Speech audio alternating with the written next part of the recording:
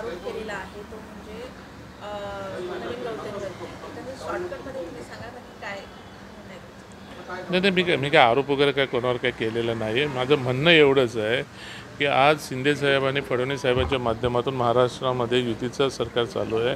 आणि युतीचं सरकार चालू असताना काही गोष्टी अशा काय घडल्या नाही पाहिजे आणि घडून दिल्या नाही पाहिजे की जेणेकरून लोकांना दुसऱ्या समोरच्या विरोधकांना त्यांच्या हातामध्ये आहे तर कोलीत भेटेल. आणि म्हणून मी स सांगितलं की कालचं जे काही गोष्टी त्यांनी केल्यात हे ज्या नव्या मुंबईमधले जे नेतृत्व करतात ते- जे नेते आहेत त्यांना पूर्ण राजकारणाची परिपक्वता आहे तर त्यांनी ह्या गोष्टी करायला नव्हते पाहिजे. तर त्यांचं टायमिंग चुकलं. आणि आम्हाला पण माहीत होतं की तो जाणार आहे. हे काय मला सांगायची काही गो गो- गोष्ट नाही.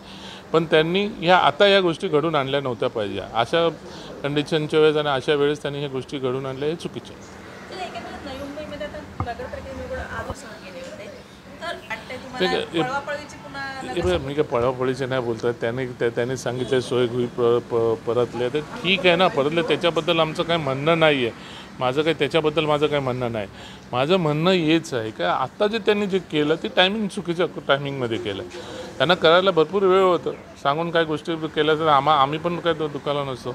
पण आता जे महाराष्ट्रात जे राजकारण चाललं आहे त्या पार्श्वभूमीवरती ह्या गोष्टी व्हायला नव्हत्या. तर ज्यांना रा राजकारणाची परिपक्वता आहे अशा माणसांनी ह्या गोष्टी करावं हे चुकीचं आहे.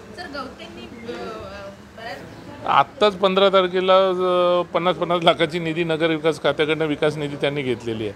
आणि काही गोष्टी त्यांनी बोलणं चुकीचं आहे. जायचं तर प्रेमाने जायचं त्याला कोणी अडवलं? आम्ही कुठं ना नाही बोललो. पण कोणावर असे दोषारोप देऊन जाऊ नये. पहिला केस झाली म्हणून आमच्याकडे आला. आता आता तडीपारीच्या नोटीस निघाल्या म्हणून त्यांच्याकडे गेला. या गोष्टी चालल्या.